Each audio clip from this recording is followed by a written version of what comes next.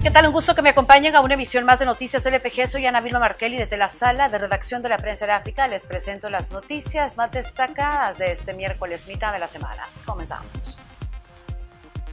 A partir de las 0 horas del 25 de febrero comienza el silencio electoral, el cual prohíbe hacer propaganda política de cualquier tipo tres días previos a las elecciones. El artículo 175 del Código Electoral mandata a los partidos políticos, coaliciones, medios de comunicación, personas naturales o jurídicas a abstenerse de hacer proselitismo político. Este artículo también obliga a no realizar propaganda partidista en los centros de votación. Las elecciones municipales y legislativas de este 28 de febrero se llevarán a cabo bajo un pacto denominado para la consolidación de la democracia y el sistema electoral en El Salvador, el cual está firmado por el Tribunal Supremo Electoral y los representantes de cada partido partido político, a excepción del FMLN, Cambio Democrático y Nuevas Ideas.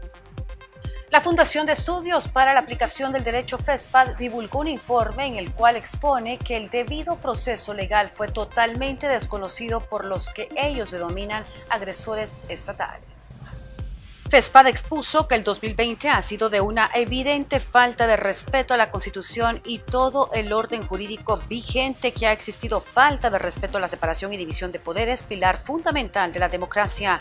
En el informe además se expresa que los funcionarios de gobierno de Nayib Bukele no conocen la Constitución de la República y que quienes puedan conocer de estas temáticas fundamentales las desprecian, las ignoran y las atropellan con toda mala intención. Un establecimiento ubicado en la colonia San Benito de San Salvador que funcionaba como bar fue cerrado por orden del Juzgado Ambiental de Santa Tecla.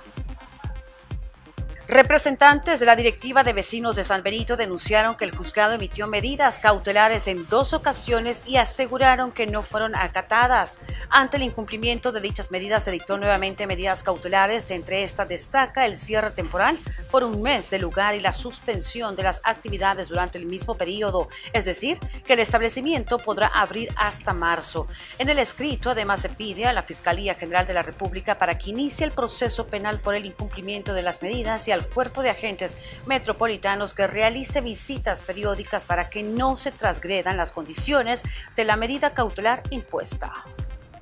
Y un juez federal de Estados Unidos prohibió indefinidamente que el gobierno del presidente de Joe Biden imponga una moratoria de 100 días a la mayoría de las deportaciones. El juez federal del distrito Drew Tipton emitió la orden judicial preliminar en la que se alega que la medida violaba la ley federal y podría suponer costos adicionales para el Estado. Biden propuso la moratoria de 100 días a las deportaciones durante la campaña electoral como parte de una revisión más amplia de las políticas migratorias y un intento de revertir las prioridades del expresidente Donald Trump. Gracias por haberme acompañado a una emisión más de Noticias LPG. Los espero mañana para compartirles más información. Hasta pronto.